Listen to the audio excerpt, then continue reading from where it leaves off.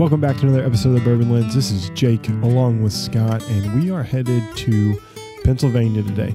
We've never stepped foot in that state, metaphorically speaking, and this is really where the the birth of whiskey takes place. If you look at the lore that comes from America, Pennsylvania is where it all starts, and we have Dad's Hat founder and distiller Herman Mihalich that is joining us today. So, Herman, thank you for joining the Bourbon Lens podcast it's fun to be here. It's always fun to talk whiskey with folks who enjoy drinking it. So, yeah, that's for sure. And uh, Scott, you were the one I think that kind of sought this one out. So, how did you get to to find out about Dad's Hat? Honestly, I've had more people like recommend this brand to us, and I think a lot of it started on Twitter. So, whatever you guys are doing on Twitter, I think people are pretty interested in spreading the gospel of Pennsylvania rye. And I had several people every time we brought up rye, they were like, "Have you tried Dad's Hat?" Uh, no, and it just kept popping up. And then if you you follow our uh, colleague Fred Minnick, he's uh, had some nice accolades about Dad's hat over the years and most recently. So I think the buzz is out there, and I'm glad we finally connected. Glad to be here. Well, we're excited to, to do this podcast. Uh, we were talking beforehand just about the whiskey lore that goes around Pennsylvania in general. And, you know, wanted to, you know, there's a variety of things we want to talk about. Like if I think about in my head, and we won't cover all of these, but like, you know, Pennsylvania style rye, like why is it the birthplace of American style whiskey? How did you all get the name? Like all of these questions are like running through my head as like the leader of the the chaos that will ensue on this podcast. Um, because by no means would I qualify myself as a host. I'm the person that can kind of guide the chaos. That's all. I'm just trying to keep the guardrails up. You finally admit that after all these episodes? oh, I, I, already knew. Once once Michael quit and I took this job, it was like, let's just put the bumpers up and we'll we'll ping pong the the ball around and, and see where we land. Go wherever where it takes us. Yeah, uh, and that, I think that's the beauty of of whiskey in general, right? Like it's just about having a conversation, and we want to know. Uh, what's going on. And I feel like every time I'm at a bar and I'm talking to someone in the whiskey industry, I just pepper them with questions. And I try to do the exact same thing on here because I want people to know what I'm thinking about and Scott's thinking about. That's ultimately the journey. Okay. So I just rambled. I'm going to ask one question and we're going to get this chaos started. Okay. Pennsylvania style rye. Why is it the birthplace of American style rye in in your opinion? And what is Pennsylvania style rye at the heart of it? Well, um, it, it goes back to the 1700s when you had um, a lot of people talk about Scotch Irish, but it was actually German Mennonites and Swiss German Mennonites who, who, were really some of the early uh, people bringing whiskey into Pennsylvania, and they were they had a history of using rye back in in Europe, and they came to Pennsylvania because Pennsylvania as a Quaker colony was a um, was an open door policy for uh, people for immigrants, and they were being persecuted in Europe and came to Pennsylvania. They brought their skills with them, and that includes you know uh, the Overholzers. That's where Old Overholt came from. So Abraham Overholzer was one of those guys whose family came to Pennsylvania. Um, the original before Michter's was Michter's, they were originally the uh, Bombergers. The Bombergers, same thing, another one of those families. So they brought their skills with them, and Pennsylvania uh, is a you know and rye is a really easy grain to grow. It grows very well in Pennsylvania, and so you know they kind of put those two things together: the skills they brought and the available raw material. Uh, so that's kind of the uh, part of the origin story. Mm. And uh, and of course the uh, you know that that grew to a very healthy, literally hundreds of distillers across the state of Pennsylvania through the 1800s. Um, the Pennsylvania style was built around that. It was a you know, predominantly uh, rye based, and one of the things we mentioned, we we allude to it in one of our labels as pre-prohibition style, and that is the the malt content. Um, there's a you know typically if you look back at the old recipes, and we we did a lot of research and preparation for our uh, launching our distillery in 2011. We looked at a lot of those recipes, and they always uh, contain 15 to 20 percent of malt, mm. uh, mostly malted barley, sometimes a little bit of malted rye and uh, so we um, we incorporated the, that thinking into our um, recipe development. So we have 80% rye grain, 15% malted barley, and 5% uh, malted rye. We did uh, our early, uh, in addition to the research we did, because of uh, Carl Stills, we have a Carl Still. Uh, they had an affiliation with Michigan State University at the time, and we were able to attend the the seminars they, they ran up there, the artisan distillery program, and they we, we went back and they actually helped us do uh, work through recipe development, including choosing the malt that we're using today, which is a really flavorful two row malt that we think really helps to balance our flavor profile. So all those things together, you have the you know that really deep history, um, and my own personal you know um, sort of direction was my grandfather in the uh, hundred and some years ago, when he was a young man, was drinking rye whiskey made at the largest whiskey distillery in North America at the time, which was about two miles from my house where I grew up. And uh, and he was a rye whiskey guy. And when Prohibition came along, he decided working in the still mill was not so much fun, so he left there and started a, uh, a speakeasy in the 20s that became our family bar. So, um, and he was a rye whiskey guy, and he was always a fan of the traditional rye whiskey style, and which was represented at the end in the 60s and early 70s by a brand that his favorite brand and my dad's favorite brand was um, a brand called Sam Thompson. And uh, so those that's what I have in my mind's eye when, when we're trying when we're creating our whiskeys is that those whiskeys that I remember my grandpa and my dad drinking and and I'm still lucky once in a while to um, have people will show up on our doorstep with a, hey look I got a bottle of Sam Thompson I've uh, somebody you know found in their attic. And uh, so we there's still there's one floating around right now, uh, and I, there's going to be a, fundraiser in Pennsylvania in a, in a, short while where they're going to be offering uh, you know you pay uh, a fee to taste through a flight, and that's going to be one of them is an old unopened early 70s uh, Sam Thompson rye. So uh, so anyway, so that's that's kind of the you know trying to paint the picture forward through you know where the origins are and where it where it ended up and so in 2011 when we started, there was nobody making um, Pennsylvania style rye anymore. there's nobody making rye in Pennsylvania. So when we started up, uh, we were the first guys to bring rye whiskey back to its home here in PA. That's awesome. I think the most interesting thing is that that mash bill. A lot of people don't talk about this, but some people think of like barley as like, oh, we're gonna sprinkle a little bit in because we need those enzymes. But really, any less than like 10% really doesn't produce enough enzymes to to jumpstart the it, fermentation it's process. It, it's hard. I mean, and and you've probably you may have heard some of the horror stories about people working with rye is that it can be very foamy and can be very sticky. And much of that problem comes from the bad conversion in your mash. Mm. If you do a good conversion in your mash, you'll have a lot less foaming and a lot less stickiness in the fermenter and in the uh, still. So if you if you don't use uh, the proper amount of enzymes, you'll get more of those issues. And you've probably heard some distillers out there saying, "Oh, rye is a pain to work with. It foams too much. You know, it sticks all over the place." Well, that's that has a lot to do with the fact that you may not be getting proper conversion, and so using the, the those the higher level of enzymes um, gets that good conversion. And along with it, and this was from something that the Michigan State guys uh, kind of turned us on to, saying, "Hey, you're going to throw that barley malt in there. You might as well pick some good something that's going to taste good. I mean, the old typical six row distiller's malt doesn't really taste like much. Mm. So we're using brewer's malt, a two row brewer's malt that has a really brings a lot more flavor to the table, and uh, and which we think really does a nice job of balancing that the dry spiciness of the rye, and that fruitiness of the malt does a nice job of uh, kind of balancing itself together. Yeah. So so a 95.5 rye, not to bash it, but uh, does that necessarily have to include supplemental enzymes? I don't know for sure, but I, I would guess that they are. Yeah. I mean, if I mean, and truth be told, we add enzymes to ours as well, just as kind of a belts and suspenders, because you know, not getting a good conversion is can cause you so many problems further down the, the road, mm-hmm. we, we, absolutely just to absolutely be sure we get enough conversion. We do throw a bit of enzymes in our in our mash as well. We've run it both ways, and it runs just fine because we you know we the the the, uh, the malts we're using are, are contain the, the right amount a proper amount of enzymes, but mm-hmm. um, but we we it's not so much adding the enzymes; it's the fact that the malt's not there, and the, in that we think the flavor from the malt is really contributes a lot to uh, to our our flavor profile. So, are you an attorney by trade? Because I only hear attorneys use that term or that phrase, belt and suspenders. no, I'm not. I'm I'm a chemical engineer. so they use it too.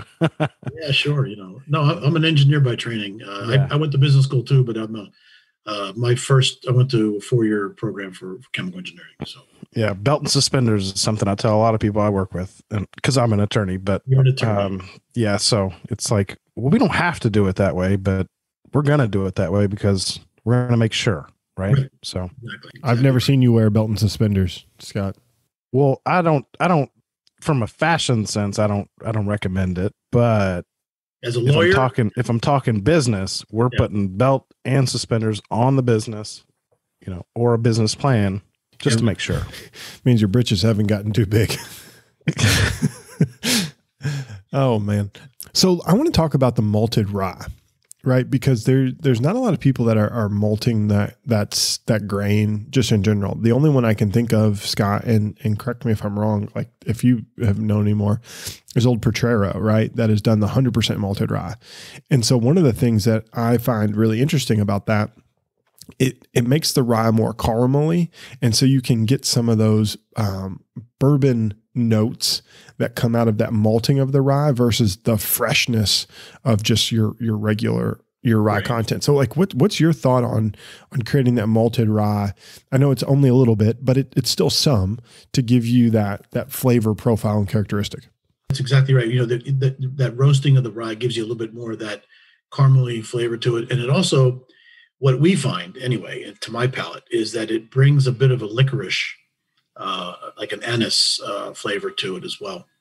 And it, you know, we threw it in there just to kind of on a lark to begin with, but uh, we do like that that extra little dimension to it because you know the that's one of the things that's fun about whiskey is that you know you can you by adding another layer there, even though it's a small note, it's just it, it, when you taste your whiskey, you like to discover those little things. You know, like you're you go, oh look, you know, you you just take a sip and you go, oh, what was that? You take another sip, what was that? And it's a it kind of adds the kind of the fun of discovery of all the different things that you can incorporate into the layers of your uh, whiskey flavor. Mm. No, I, I, think that makes a, a, lot of sense. And I uh, I was drinking, you know, the white rye, right? Is uh, that's something we we haven't talked about, but like I started there just to kind of get a sip of it it's really similar to White Dog, like is the is the best way. But like you get a good understanding of what those grains are doing in that um, mash bill because it, it is it is fruit forward. It's got a lot of flavor, and you know a lot of times when you drink white distillate, it just comes off hot, and like you use it literally as hand sanitizer. This is yeah. super, super smooth and easy to sip on neat, right? I don't say that a lot about clear spirits in general. I, I thought that was an easy sipper and a great introduction just to understand how the grains are working together as we get into the maturation of you know the whiskey that we have in front of us because we have a variety of things to get into so i guess my my thing and, and scott would love your opinion you know why why white dog or why the the the dad's hat rye? And like how do you put that into your overall or lineup of of products that you have in the marketplace? And how do you position it? We don't we don't sell a lot of it. I mean in the beginning we did it was the only thing we had until we had some aged whiskey. So we of course we you know we're selling it. But it it it, it stays around because we have um, particularly on the east coast with in new york there's a there's a actually a bar in new york who's developed a, a really fantastic uh, white manhattan recipe using uh, Lillet and um, uh, Luxardo Maraschino and, and, making Manhattan out of it like that. Um, and so up at like from the Maryland Eastern Shore through New Jersey and New York, a fair amount of bars have picked up on it for making cocktails.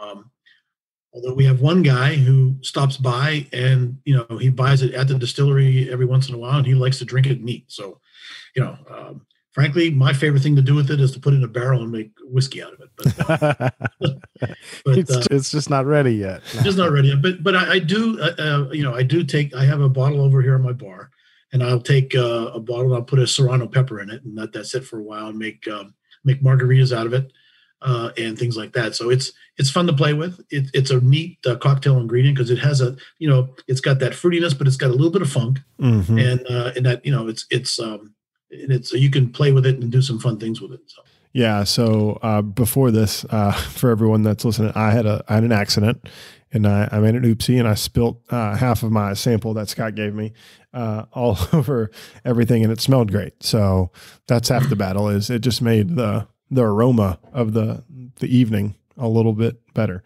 Um, Scott, I know you like aged whiskey. but you are a gin drinker.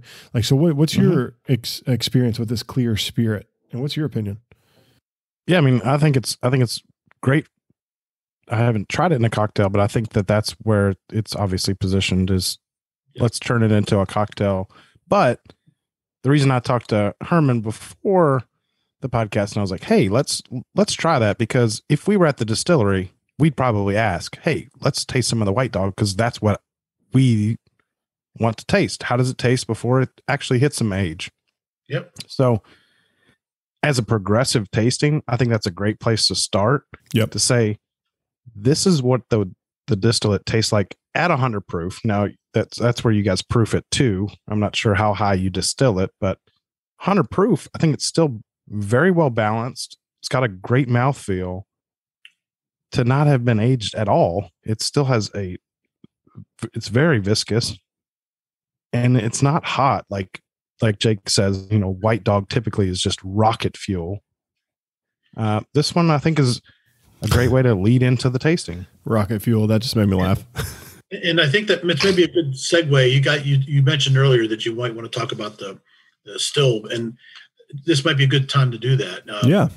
we um you know we have a pot still, but we have a five plate side column, so we're able to deploy that side column as we like to clean up the edges on our on our distillate.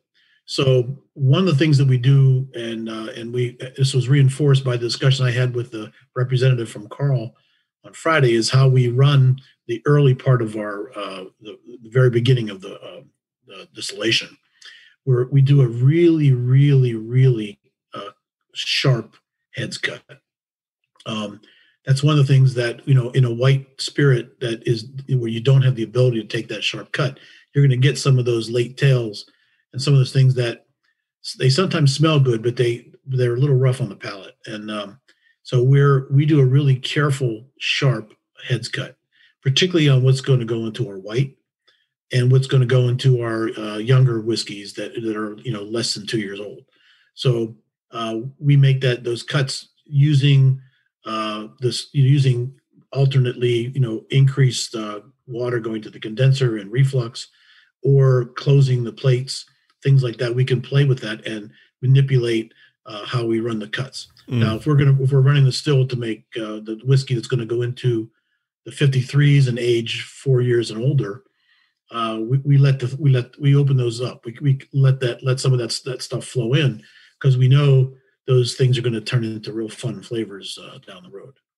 They might be a bit unpleasant when they're young, Mm. but down the after four years in a barrel, they they they, they mature into tasty flavors. So, are you making your cut on the column part, or are you making like where are you making your cuts Off, on off the column, yes. off the column? Okay, and you're doing like a double distillation technically through the pot. Yeah, we, we do a we do a strip. Yeah. And then we redistill. The strip is is just on, on the pot to the condenser. Yep. No column. And then we do the second distillation where we we deploy the column as needed to clean up um, the, those cuts. Got it. Got it. Yeah. That was like one of the hardest things for me to really truly understand. Like distillation process is for pot distillation. You know, is it double distilled? Is it not double distilled? Is it does it have a stripping column? Does it not? Right. There's a lot of nuances to it. So that's like Scott always says I like to nerd out about this, but I think it's from a nuance perspective. You know, I, I hear from time to time people say is one's distillery, you know, if you've seen one distillery, you've seen all of them that's that's incorrect right like yes the process is making whiskey right we get that but how you get to the end product can be completely different um, and that leads me to the other nerdy question i like to ask is how do you age your barrels right? Are you in traditional ricking are you in uh, palletized warehouses? Are you in wood? Are you in cement? Are you in um, sheet metal? Like how are you all aging your whiskey? Because pennsylvania has some weird climate swings. Right. Well, the the, the a lot of the tradition in uh, in uh, just before Prohibition and just after in Pennsylvania were uh, what they would call cli- you know climate controlled or, or temperature controlled warehouses, and uh, they were typically uh, brick, steam heated warehouses.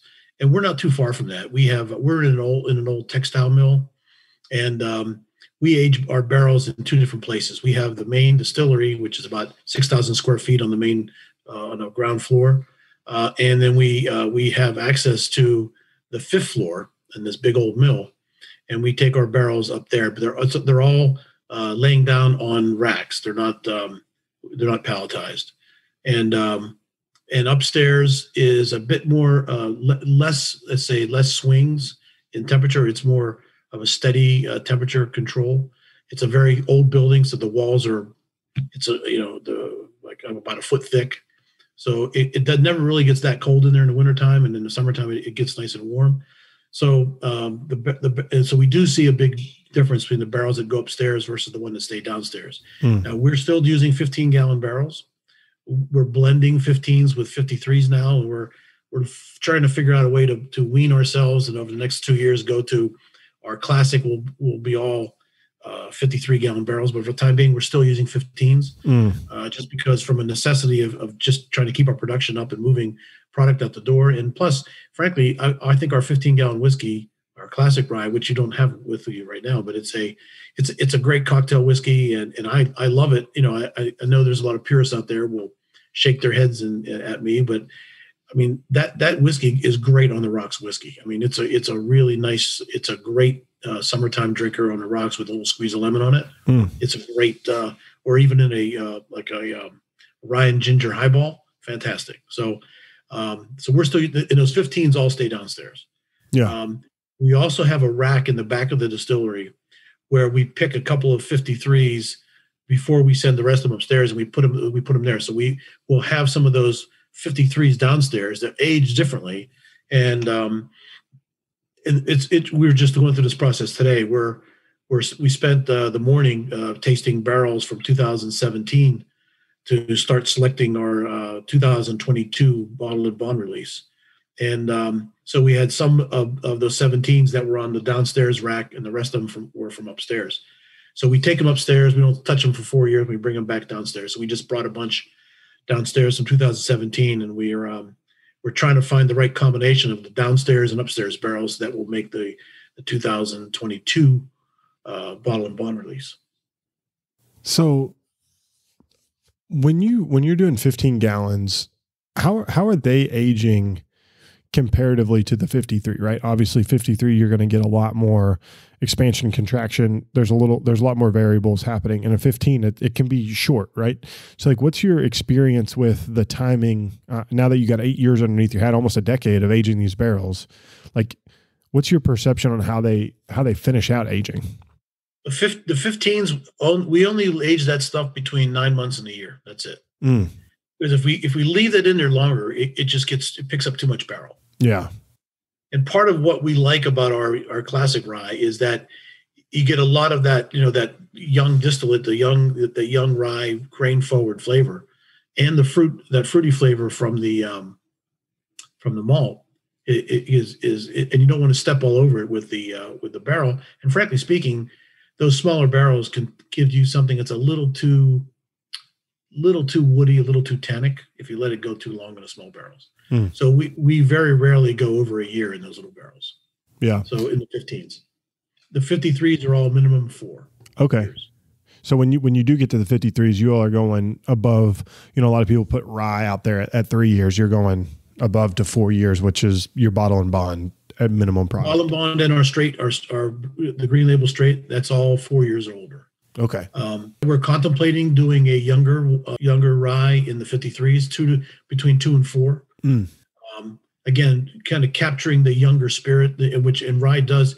You know, it's, you, you mentioned Old Potrero before. It's one of the, you know, uh, the they you know they they always were proponents of the rye being uh, from a younger, uh, you know, ready to drink a little uh, younger than a bourbon would be, and we and we think that's a it's a it's a nice uh, contrast to the older whiskey. So we're gonna we're gonna look to maintain that with a two to four years in a 53 and start to phase. We, we might keep some 15s only because we get we get really surprised sometimes. We get we'll get some 15s that are just really delicious, and we we like to keep those around. So we'll see. We're, we're gonna we're gonna we're uh, play making it up as we go along a little bit here. You know, we're you know we don't have 50 years in the business, so we're. Um, but and and the thing is, the bottom line between myself and, and John Cooper, my business partner, um, it comes down to what we like, you know, and, and that's, you know, if we don't like it, we won't sell it. If we like it, we, and we'll sell it. And if, if, if you like it, great. If you don't like it, too bad, because we're not going to sell unless we like it. So, um, yeah. You know, as we're progressing now from the white rye into the, the 95 pre prohibition style, you know, I love this tasting flight as a whiskey nerd, tasting through these whiskeys as it progresses through, I think it's definitely a great way for for you to show this product and show you know what your portfolio is because most people are looking at it and they're like it's all the same distillate but it's so crazy how it's so unique across these four bottles that we have in front of us you know it's yeah, one of the things that that there in fact there's a if you go from the green labels 95, which is our four year old and and uh, straight. Through that progression, the, the one of the differentiators, and it's something uh, you know you guys probably know better than I do. I, I don't get out enough. I spend too much time at the distillery. But one of the things that we do, and we've done from the beginning, is that we have 6,000 liter uh, vatting tanks or blending tanks. So for so that green label, and we do the same for our classic uh, 90 proof as well, is that barrels go in and whiskey comes out, but the but the tank never empties. Like a so, Solera barrel. It's sort of, you know, so but it's a six thousand liter tank. So yeah. like right now, there is about uh, four thousand liters in the classic tank and about three thousand liters in the in the straight tank. And we are picking out more barrels today to go into the straight tank to get the level up. So because when we when we bottle next, we want to enough to rest in that uh, tank. So the next time we add barrels, it's blending with what we bottled last time. So that hmm. green label straight is like an infinity uh, bottle. You know, it's it just keeps getting new things added to it.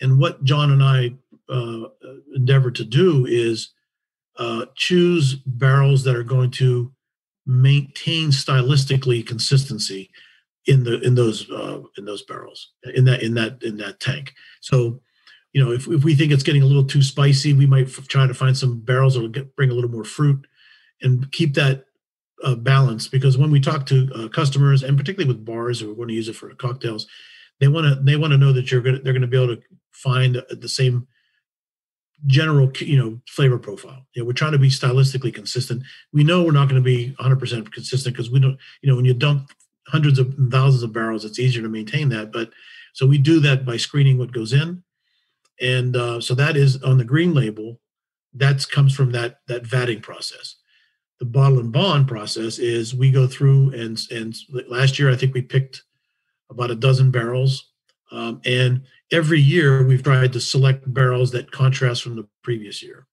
um, 2019 was crazy spicy uh, really really like you know uh, uh, cherry pepper spicy uh, 2020 was really pretty. It was like a floral pretty selection. The 2021 you have in front of you, uh, we called it our German chocolate cake. It's it's cherries and chocolate. Um, and this year we just spent the, the morning tasting barrels trying to figure out what 2022 is going to be. Um, and then the third bottle you have is a, is an absolute single barrel. It's just one barrel that we felt, thought was unique enough to pull off on its own. And that was a 53 gallon barrel. 53 gallon barrel. Yeah. I mean, now that you explain it, I now I see why there's so much variation amongst these. Yeah. Right. But yeah, I think the Solera process or whatever we call it, the hybrid Solera, you know, vatting. I think that's that's very interesting because you're trying to create consistency over a longer period of time right. by like I think a lot of distillers have used this term spice rack, like using the different spices to incorporate and make things more consistent. Right. Well, I think what's really interesting is like going from the 95 to the bottle and bond, like you can get a little more spice. Like you said, I think the the 95 was a little more sweet, was more that chocolate cherry note that you mentioned. The the the bottle and bond has a little bit of that peppercorn like rye spice to it that kind of oh, yeah. lingers with you. It's, it's, I feel like this is like a true representation of what I know rye as. And I'm not saying that is right or wrong, but like what my palate recognizes rye is, I feel like that bottled and bond like hits it. It's full of flavor. It's bright, it's citrusy, and it's got like some peppercorn um, spice to it uh, on the back end that kind of lingers in the in the esophagus a little bit in a, in a good way. Like I, I, think that one's you know just really warming to the to the body and the palate. Um, so I think the maltiness shows up more in the 95. Oh, 100%. 100%. Yeah. Which which going back to Old Potrero, one of my early tasting notes when I first tasted this, I guess a couple weeks back, I said, "Damn, I need to I need to compare that to Old Potrero." It says, "Reminds me of Old Potrero. Grab bottle of Old Potrero." I haven't done that yet, but maybe I'll do that after this podcast. But that malty rye is such a unique flavor that I don't experience very often because I don't think many people do that. No, not at all. I, it it just lends to you how much creation you have with the grain variable, right? And then and just playing with water, even right, it can pull out such different distillations. And then you go with this. We'll call it Solera for just the, the normal person. The lay person may understand that a little bit better. Um, you know, the, that process, that vatting process, you got um, the consistency, but the bottled in bond's got to be from one season. Like there's there's a lot of you know constraints even on that, right? To as you make it. So even that five you know five points non Solera process, you know, gets a gets a, a little bit nuanced um, in in in the bottled in bond, which those are great. Like I've I've really enjoyed this because it's giving me something different to my palate. And one of the things it's it's made me do, it's like making my my palate uh, like thirsty. Like I don't know, like it, I, I can't, I don't have a, in, I have this insatiable thirst to keep drinking. Um, that could be a bad thing, but that's good for you all, right? Like I'm enjoying my dad's hat raw.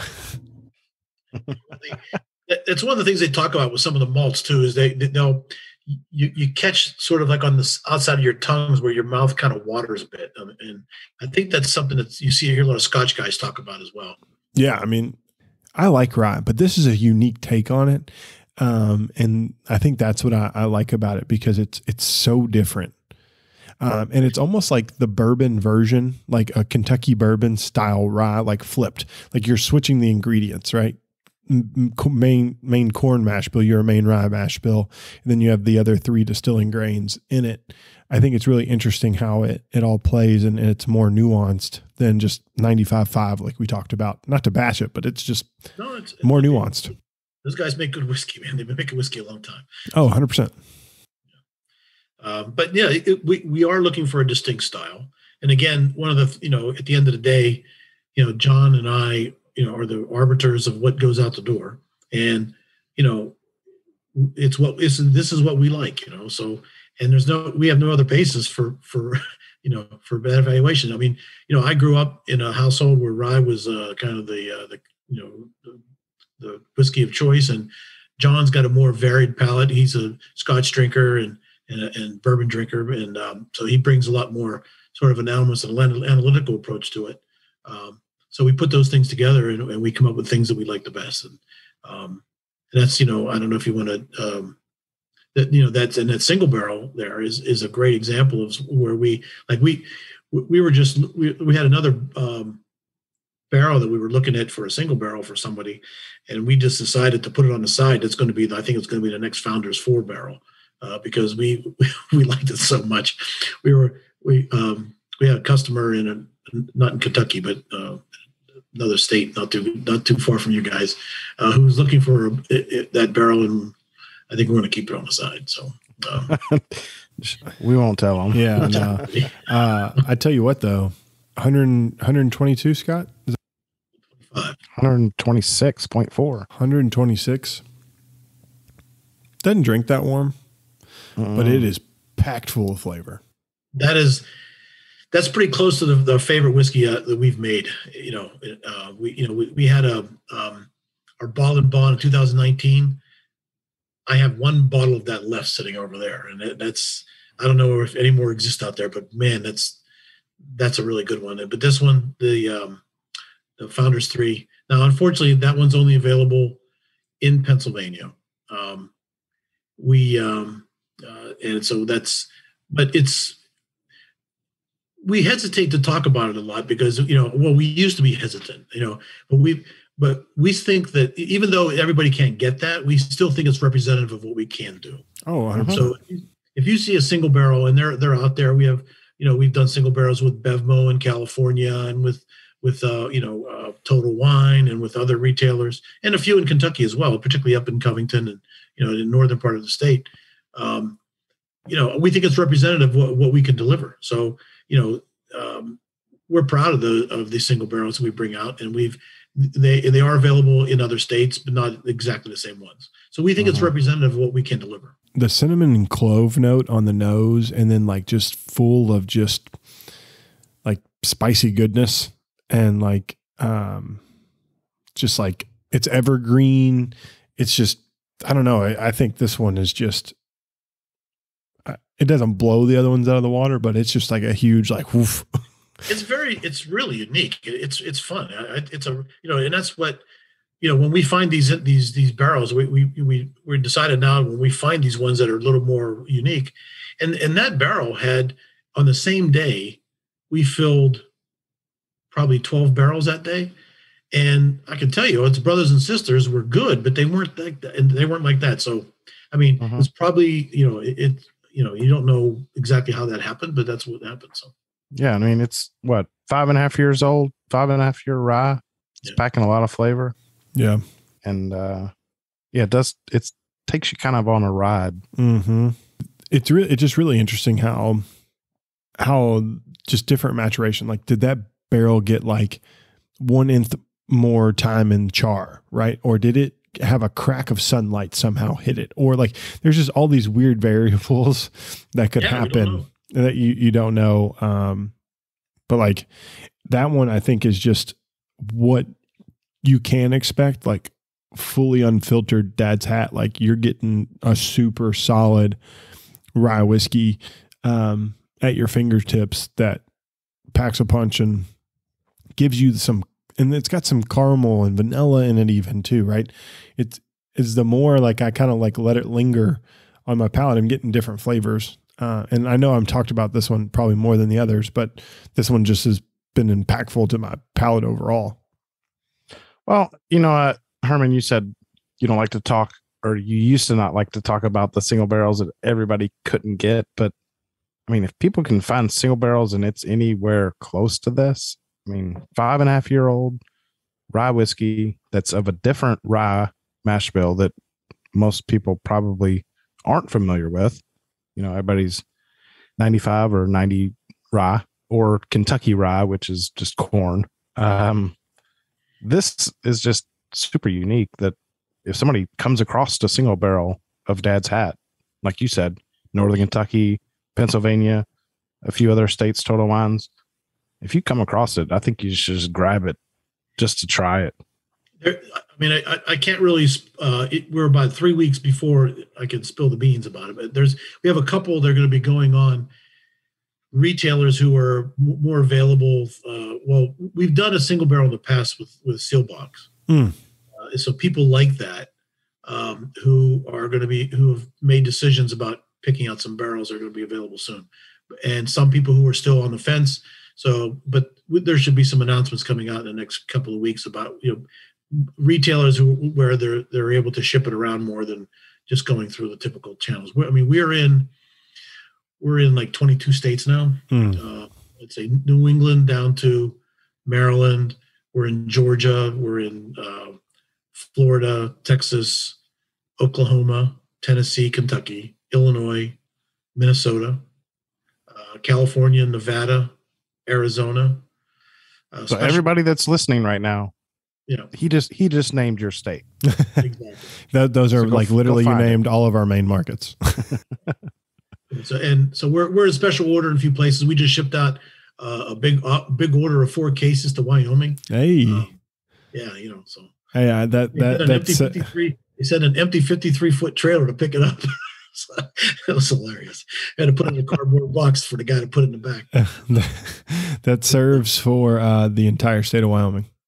I, it must be. Uh, so the uh, the so it's but I mean you know we're happy to happy to folks have heard about it and one that you know would like to pick it up. Yeah, we're we're available in Europe.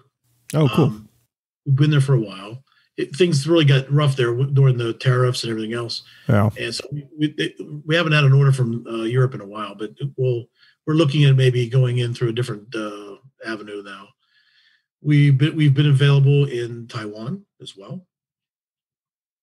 Aren't you just fancy? You're you're international. That's our second largest listenership. No, I'm just kidding. I don't really know. You know, it, it's funny because the guy who's the who's the uh, president of the Philadelphia Whiskey Society or Club is from Taiwan, and one of his uh, guy he knows came to visit Philadelphia, and he turned him on to our whiskey. And this guy happens to be uh, in uh, he's a he, in the importing business in Taiwan.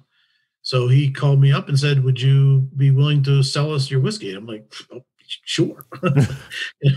yes and yes. If you have money, I'll sell it to you for sure. So they, uh, so yeah, we're. Uh, it, it was taking a little bit of a bump because they, they even though Taiwan started uh, really well with COVID, they've really t- had a, taken a beating in the past uh, six months. I think they're starting to come out of it again. Uh, but the um, so we'll see how things go there. Um, and we They, sell. they need some single barrels with this high proof. I think that it would help cure some of that. well, one thing we are selling them. We're selling them. Proof. We're selling them. Uh, the only place we sell this product is in Taiwan, and at the uh, uh, at the farm stand at the Reading Terminal Market in Philadelphia. It's our uh, unfiltered unfiltered cask strength whiskey, which is basically whatever's in that vatting tank at the time. We put it in a barrel, or we put it in a bottle, and we sell it. And we literally just boil it right out of the tank. I mean, we, we don't do much filtering anyway. We don't do any chill filtering, but this literally is like you know chunks and all. And um, so that's the unfiltered cask strength. And the the guy in Taiwan asked me about it because the guy in Philly told him about it. uh, and so it's only for sale uh, in uh, at the Reading Terminal Market in Philly and in Taiwan. So is that like a special bottling, or is it like a? yeah, it's just, yeah, it's we it's got a different label and everything. It's a Wow. unfiltered cask strength is what we call it. That's And it's got like the chunks floating in it. Yep. oh, if you're man. It's looking got a little grit. It's got a little grit to it. Scott, we're not far off from Taiwan though. Like India is our second largest country from listenership perspective. we we have been available in India in the past. See, I, and you know, I'm just I'm just helping helping Herman here. It's pulling Uh, the stats. I'm pulling pulling the stats. You know, Giving- And giving we all were- info. We, we have been on the bar at what is one of probably one of the fanciest bars in the world in Singapore is the Manhattan Bar in Singapore. Uh, we're on the bar there. I feel like everything is fancy in Singapore. Yeah. like every everything I've ever seen from Singapore just seems like I can't afford it. It's it's a pretty interesting place. I, I I used to back in my before in my real job before I started this business. I was uh, spent some time in, in Asia and Singapore is a pretty interesting place. So Yeah. sure. I uh I, Asia just in general like always um excites me from a travel perspective. So uh, I need to to explore that. Um not right now as we all know. So we'll we'll leave that as as where we are. Um but the the one last thing is you know that I have How'd you come up with the name? Well, uh, you can't really see him here, but uh, I have um, You got your dad's hat. I got a bunch of them. I have a whole wall of them over here. There we go. There it is. That's- One of many. Um, my father passed away as a pretty young man because I'm approaching the age of my father died, which is getting scary. But so, um, and, as you can tell, so tell I, I don't have much hair, so I started wearing these fedora hats, and um, we were working with a um, company in Philadelphia, Signature Communications, who's done our branding, and they're they're the agency we use for all that stuff. And uh, they came up with the name Dad's Hat based on the fact that my dad and my grandpa were both rye whiskey guys. I grew up at a bar, and and uh, the hat kind of reminded them of of um, what. What's genius about what they've done is that a, the the backstory is fun. You know, my dad, my grandpa, um, but it's also if you look at that label, one of the things we were trying to communicate about the brand is that we're we were bringing rye whiskey back to its home. You know, and it's so we wanted to communicate a certain nostalgia along you know with the brand Yeah. and we think the fedora kind of does that because it when you see a fedora hat like that it kind of makes you think of you know maybe a, a- an uncle who wore hats or maybe your favorite movies or maybe mad men or something like that but it's also it al- always evokes a certain nostalgia And also, I'm just showing Jake this on the back of the bottle, but it says the perfect fit. Well, we, we need we need a fedora times two for the size of my head. Well, there's a perfect bottle out there for you. So yeah, we have. I have a one, two, three, four, five, six, seven, eight, nine, ten, ten hats in this office right now. Yeah. So is is the hat that's on the bottle one of the hats that that you inherited, or is that a hat it- that like it's, you? a, it's fashioned after one of the hats I have. It's it's fashioned after. ugh, here it is. There it is. hat. This one here. So, I feel like that's a that's a cigar smoking hat or, or a Churchill Downs hat. He's gonna go watch the ponies with that one. so yeah, There so that's go. another one. You got you got your program, you got your cigar and your mint julep, uh, a rye mint julep, and uh, he's ready to roll. Well, we, call well, we in Pennsylvania we call rye and Joe. We call that a whiskey smash. So we'll. Okay, whiskey, whiskey smash it is. I'm I'm not a mint julep fan, so it is what it is. Um, so we we've talked about a lot, and I'm I'm super excited to uh, steal more of uh, Scott's bottles that he has over at his house, um, because this single barrel is to die for. Um, you know, Herman, when when people want to find out more about your all's product and services, like where can they find out more information on on Dad's Hat? Um, our website is uh, dadshatrye.com. Um, so there's a you know fair amount of information there.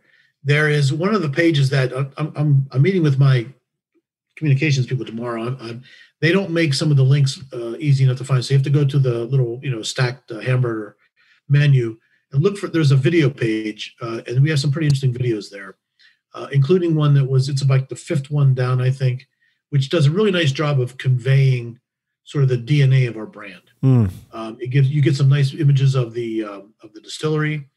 There's a drone shot of the farm uh, where we get our rye from, which is you know, I didn't mention the farm. We you know we work with the the Mies family. The Mies family's been on that land since 1716. Uh, you know, and we have a great partnership with them. Uh, they do a great job of of waiting until the last minute to harvest a really ripe rye berry for us. So you get to see all that stuff it's a little schmaltzy because the guy who did it is actually a uh, videographer from National Geographic, and uh, so he, he did a really nice job with music and and my voiceover and all this stuff like that and his dramatic shots. But it doesn't. I think it, it shows sort of the the DNA of the brand. So it's a really nice video, and there's a few other ones there that are pretty interesting. Um, so in general, if the website's a good source, we could you can follow us for latest information. We're on Instagram we're most active on Instagram. We're a little bit. Facebook's becoming such a pain, uh, pain to work with. yes. you know, um, they keep changing the layout and the format, and you know, it, it's it's just a it's a pain to work with. Um, and we do we're a bit on Twitter too, but mostly these days, uh, if you want to you know see what's coming out and things like that, on is uh, Instagram. Whatever you guys are doing on Twitter is working because, like I said at the beginning of the podcast, I've had multiple people say, you know, at Dad's Hat, gotta gotta check out this rye. So whatever you guys are doing, people are noticing. We So doing as much. We, maybe we should pick it up again, but uh, but we because we've been. It, it ends up with uh, Instagram being the the one that's less cluttered, and because Twitter just gets so cluttered so fast. Um, mhm. but um, we like I think we we we, we do a bit on on uh, Twitter still. Um, Well, for all of our listeners, check the show notes. There will be a link to the video that Herman just referenced, and ob- obviously all the socials and Yeah. uh, website. But yeah, definitely check the check the show notes on our website and uh, and coming Check it out for yourself. soon, You'll find out more about those those single barrels that will be more widely available through whatever. As you know, it's state by state. The rules are different, but uh, there are, there will be more widely available from a couple sources, and uh, that'll be announced soon. And we'll be choosing our 2022 bottled in bond, Mm. which will be available in several states: Pennsylvania, Kentucky, California, Tennessee. Who else buys it? Um, Massachusetts, so it'll in New Jersey, so it'll be pretty widely available. The the 2021 is still out there. The 2021 there's uh, in the stores in PA, of course, but we just shipped uh, the last of it to um, the 2021 to Kentucky, and and uh, Tennessee has it, so it's it's out there. if you want to send us a send us the details on where it's at, we can definitely drop it in the show notes. I mean, we've obviously got a lot of Kentucky listeners, but we got listeners all over too. So Yeah. Great. Hey, Jake, single barrel, shared pour. Make it happen. Yay. We, we can make that happen. Uh, we got an online retailer we work with. So You know, we will send out the samples, or if you guys want to make a road trip, come by the distillery and climb around the racks with us. You know, we'll put on our boots. I'm I'm always down to to make a, a car ride. Uh, to Philly, it's probably nine hours. what the hell? Yeah. Wh- Yeah. Which part, which part of Kentucky you in? We're in Louisville. Louisville. Yeah. Yeah, So just- straight up through Ohio and over. Yeah, so we got a couple total wines here. I know you said you guys work with them. So yeah, I think Sure, the, we the one total wine there, uh, they may have a couple of old ones sitting around from the last time they picked one. I don't know if we've had the last pick we had in in uh I'm trying to I can't remember the last pick we had. I, if I find the last pick we had from Kentucky, they, if they still have some uh, around, uh, I'll, I'll, I'll shoot you a note. Yeah. Cool. You can include it. Um, Definitely. the um, you know when you're driving if you make the drive out across pennsylvania as you're driving on route 70 before you join the pennsylvania turnpike you cross the monongahela river as you are crossing the monongahela river on that bridge you look down to your left right to the bottom of that bridge on the on the western bank or the eastern bank of the river was the gibson uh, gibson distillery which is the right up three miles from my house where i grew up and that's the distillery that was the largest distillery in North America from 1850s until uh, until Prohibition was located right there, making rye whiskey. So that's the rye whiskey that my grandfather cut his t- teeth on was made right there. Literally. That because that's that's how they literally cut their teeth back then. Yeah. Herman, thank you so much for for joining tonight.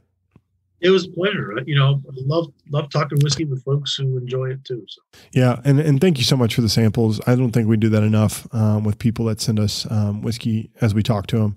Thank you so much because it allows us to have a really good conversation with you. So so thank you for for doing that and and just being fun to talk to. It, it was it was really good, and um, it's always great to have a good conversation. great. So, as we close out tonight, thank you everyone for listening to another episode of the Bourbon Lens. We really appreciate it. If you would go like, rate us, give us a five star review on your favorite podcast listening app. Follow us on all your social medias Instagram, Twitter, Facebook, TikTok, begrudgingly at Bourbon Lens. And lastly, go check out patreon.com backslash bourbon lens, exclusive opportunities to interact with us as well as um, some distillers in the industry. Uh, and lastly, we will have a slew of single barrels that are coming out. Um, as of today, there are a few Penelope barrels left. Uh, our Starlight VDN Rye, um, our Frey Ranch pick is coming out, as well as our Sauternes finished Broken Barrel. So there's a lot of whiskey that's going to be able to be purchased through sharedpour.com. If you follow us, we would greatly appreciate it if you go buy one of those barrels. And until next time, cheers. See you, fellas.